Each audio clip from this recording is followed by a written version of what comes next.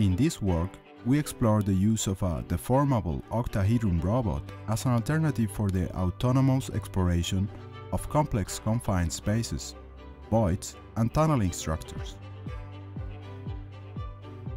We started using simulation to study various modes of deformation, such as rotation, elongation, and volumetric adaptation of the deformable robot.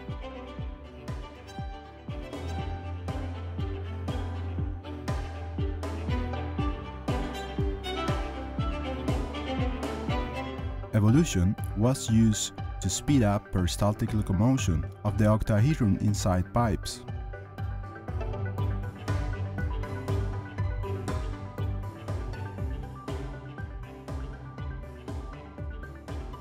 The robot was able to move along intricate in-pipe sections such as T-joints, L-joints, and Y-joints of different degrees of complexity.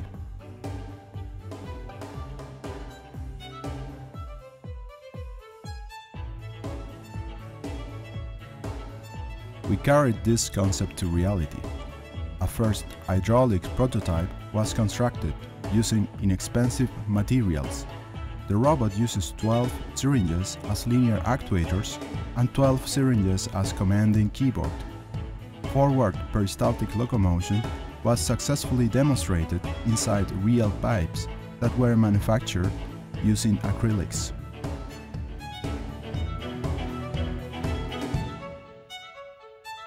A second hydraulic prototype was constructed using digital fabrication tools such as 3D printing and laser cutting. Specially designed connectors allowed our robot to travel efficiently, achieving locomotion inside complex structures such as T-joints.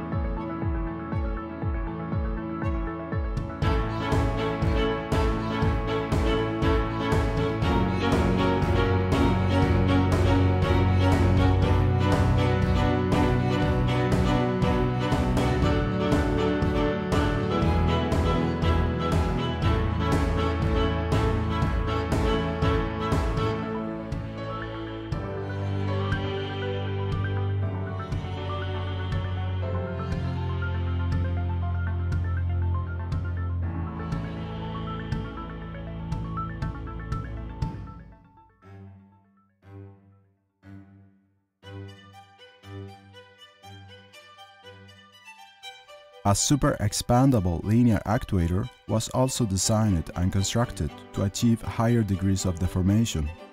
Various syringes are connected one inside of the other, so that the final length largely exceeds the initial actuator length.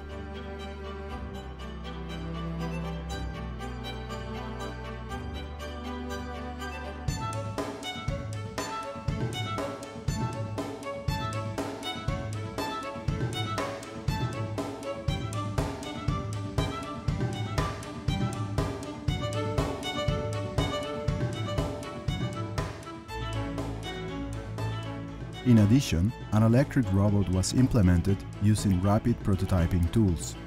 The robot uses linear actuators that mimic the principle of operation of power car antennas. A plastic wire is coiled up on a 3D printed reel, producing the actuator contraction. The reel is driven by a robotics standard servo motor.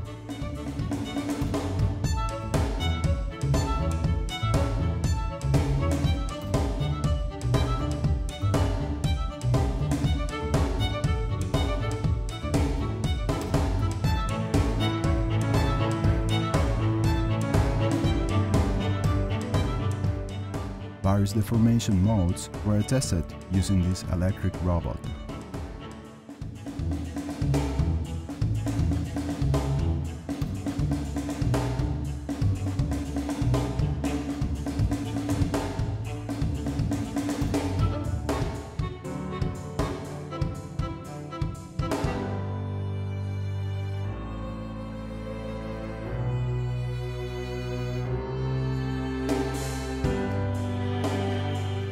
We expect this study will shed light on future applications of medical robotics.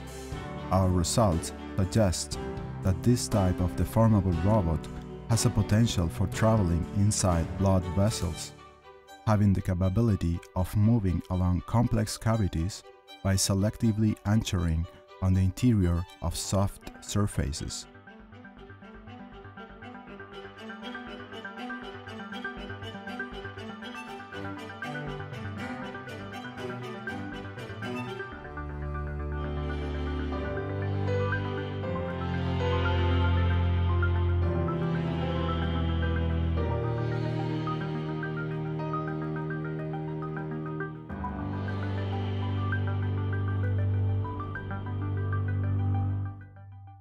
This video was specially prepared for the VIDA 14.0 contest.